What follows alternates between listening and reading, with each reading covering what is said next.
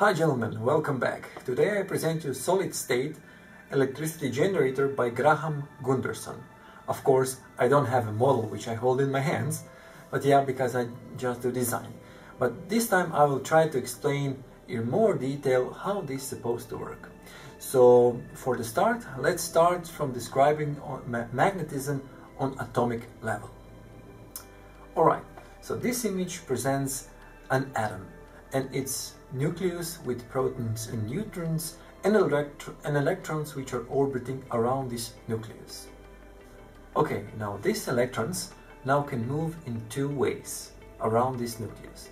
So one is the second image it's it's uh, they spin around themselves which is called the electron spin and they uh, spin around the nucleus which is the orbiting around the nucleus so exactly this electron spin and this uh, orbiting around the nucleus give the rise to magnetization of a material.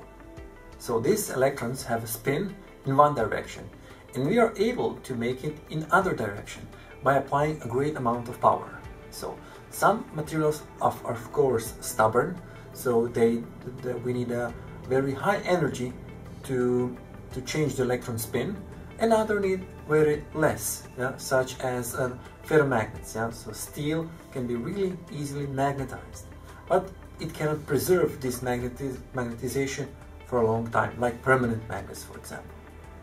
Okay, so that was description of magnetization on the atom level. So basically we have an atom, we have its electrons, which have an electron spin, which can be in one or other direction, and we have the movement of this electron around the atom nucleus, which gives a rise to this magnetization.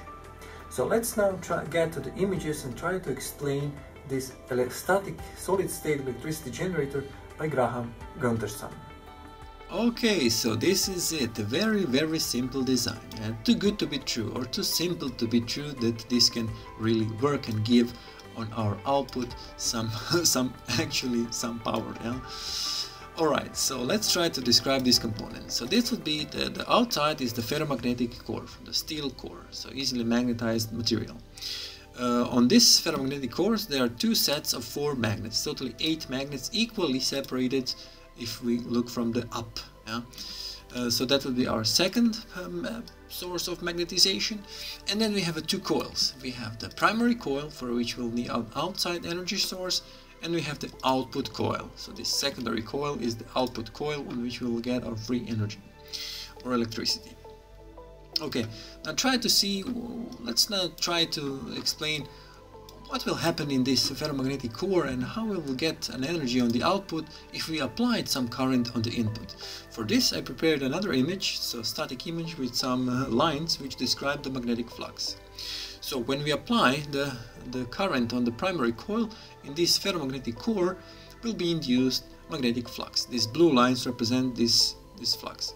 Second source of magnetization or of the magnetic flux will be our permanent magnets and these uh, black lines present these magnetization lines yeah? so here there will be some kind of curved because of this primary flux and here on the other direction it will suck down in the down magnets and uh, now you can see that by all this uh, movement of, of uh, circular movement of this uh, flux we will get an uh, let's say a virtual electromotive force created in the secondary coil these red lines which will give our free energy on the output yeah. So that will be a, the forward magnetic flux which will induce a current because we connect we will connect uh, the the output to the uh, to the load yeah so that would be it so this is the setup and very strangely there is a lot of uh, details explaining on the atomic level in the patent how this really works.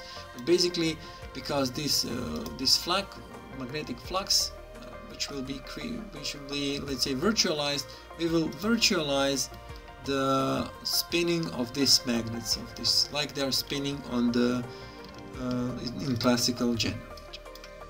Okay, down in the description below you can find an, an patent uh, link with detailed description. Please uh, read it if you are interested, if you are not, don't. And that's it, that would be, that's really easy to try actually. And, and some kind of uh, on, on this input we need some I think um, capacitor and some things but it's really really simple and no uh, special other components are needed for this to operate yeah so it's almost unbelievable that this can work but maybe it can. I really cannot say. So viewers thank you for watching. Until next video stay tuned on my channel. Bye bye